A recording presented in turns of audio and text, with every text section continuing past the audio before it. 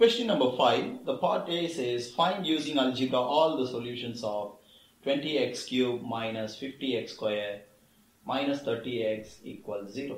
On this part A, you are given this expression, uh, this equation, and we you have three marks for this uh, solving this equation.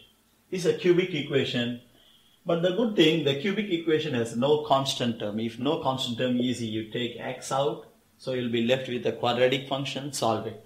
But before move on to solving this, you see you can take, you can divide every term by 10, which will be much easier. So if you divide everything by 10, 2x cube minus 5x square minus 3x equals 0.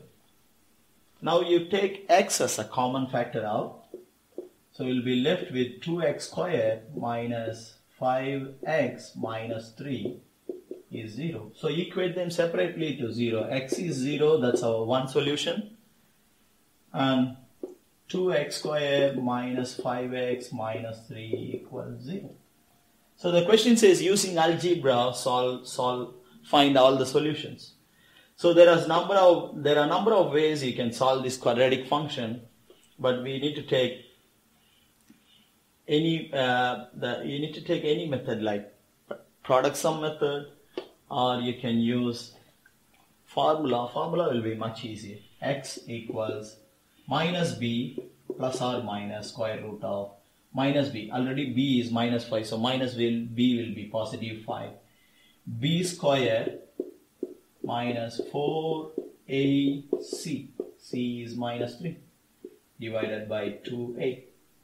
So 5 plus or minus square root of this is 25 plus 8 3s are 24 divided by 4. 5 plus or minus square root of 49 is 7 by 4. So you got two solutions. One is 5 minus 5 plus 7 which is 12 upon 4. 12 upon 4 and 5 minus 7 is minus 2 upon 4. So your three solutions are x is equal to 0, one solution and x is equal to 12 upon 4 is 3 and minus half. There are three solutions. So if you write these, you got three marks. So the first step always look for a common factor. If you, the moment you see bigger numbers, try to reduce it, try to look for a common factor. Here 10 is a common factor, divide by 10, which will make your life much, much easier. So you got three solutions in part A. Let's move on to part B. Part B says find all real solutions of this equation and it has four marks. That's our part B. Some weird looking equation, right? But again, I always say this, if you want to treat this as a separate equation, you cannot solve this. It's, it's very hard. So always this has nothing to, uh, this has something to do with part A. Our part A, the given equation is 20, and you compare part A, it's 20x cube minus 50x square minus 3x, 30x is 0. That's the equation given in part A. When you compare these two, when you compare these two, your x is, in the place of x, you have y plus 3 to the power half. x is y plus 3 to the power. So when you substitute x is y plus 3 to the power half, it will become, sorry, this is 30x. So this is 30x. So when you square, uh, by 1 by 2, when you square it, when you square it, take this as x. So when you square it, x square will become y plus 3. When you raise to the power 3, x cube is this whole thing power 3 which is y plus 3 power 3 by 2 which is this. So basically these two are same only you have y plus 3 to the power half in the place of x. So you replace this by x you will get this equation. We have already solved this equation and you got three solutions. We are going to use these three solutions x is equal to 0, 3 and minus half and substitute x by y plus 3 to the power half. So you get the solution in y. So what we are going to do, we take first equation x is equal to 0 but our x is y plus 3 to the power half. So when you square both sides, it is y plus 3 is 0, y is minus 3. Because when you substitute y is minus 3 here, it's 0. So that's our one solution.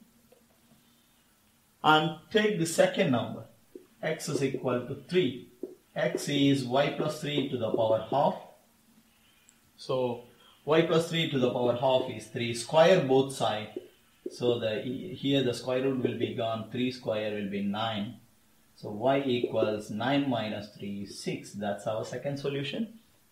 And when you take the third value, x is equal to minus half and substitute x is equal to y plus 3 to the power half is equal to minus half. And don't just blindly square it. When you have a negative number here strictly that means square root of something is strictly a positive number. Strictly a positive number that means square root of no number is going to give you a strictly a positive number. So there is no there is no real number solution for this. So you can just void it. That means you can omit it. Don't try to take square uh, square on both sides y plus 3 is equal to 1 upon 4 y is 1 upon 4 minus 3 which is minus 11 upon 3. Don't write minus 11 upon 3 as your answer because when you substitute y is equal to minus 11 upon 3 here will be minus 11 upon 3 plus 3 minus sorry minus 11, 11 upon 4 here minus 11 upon 4 plus 3 to the power half which is 12 minus 1 1 by 4 to the power half is not strictly minus minus half. You see? So when they say this value, a square root of some number is minus minus uh, minus of strictly minus of equal to minus of you can't get a real number solution. So you can just void it. So you have two solutions only, y equals minus 3 and y equals 6. That's it. This question has 4 marks. Only thing you need to know that uh, how to which one. Don't just blindly take this as x because uh, the middle term is ax square bx plus c always some people they compare that take the middle term as x no even if you take this as x check first. You see here when you compare the a and b you have 50x square so this is supposed to be x square so you need to find x which is square root of square root of this. Or when you compare this, you can take this as your x.